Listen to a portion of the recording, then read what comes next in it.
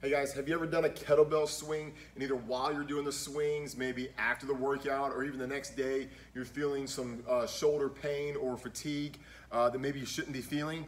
That's probably because you're using too much arms in the kettlebell swing. Keep in mind that the kettlebell swing is a, um, is a hinging motion, all right? So we're using our hips, um, our, our butt, our hamstrings um, to get our power, and that's what we're using uh, uh, to, to work this exercise, okay? So what you don't want to do is make it a shoulder exercise where it's all your shoulders are doing all the work. Now, you are obviously using your shoulders in, the, in, this, in this exercise, but think of it more as a byproduct. And so you are gonna have a little bit of fatigue, but it shouldn't be to the point where you're, um, you're overexerting uh, just one um, or just your shoulder area like you would on say uh, bench press or uh, push-ups, uh, handstand push-ups, uh, pull-ups, things like that, okay? So keep in mind, um, I'm gonna get set up. I'm standing over the top of the kettlebell. I'm going to get into a deadlift position. I'm gonna pick it up and then from here, my hips go back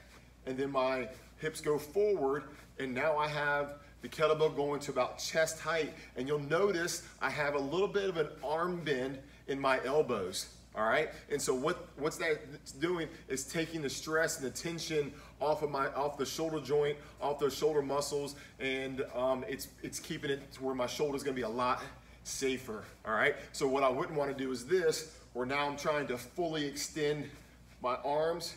All right, and I can already feel it more in my shoulders than I was when I had a bent elbow, all right? Same thing applies when you're doing a kettlebell swing overhead.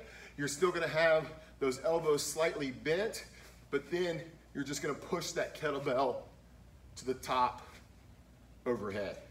So what you wouldn't wanna do is something like this, where I'm just keeping my arms straight the whole time, slight bend in my elbows as I do it. Right, so the next time you're doing kettlebell swings and you feel like you're getting a little too much shoulder burn, uh, could be because you're keeping those arms straight, just have a nice little soft bend. It's also gonna keep that shoulder safe, help prevent you from having any injuries down the road.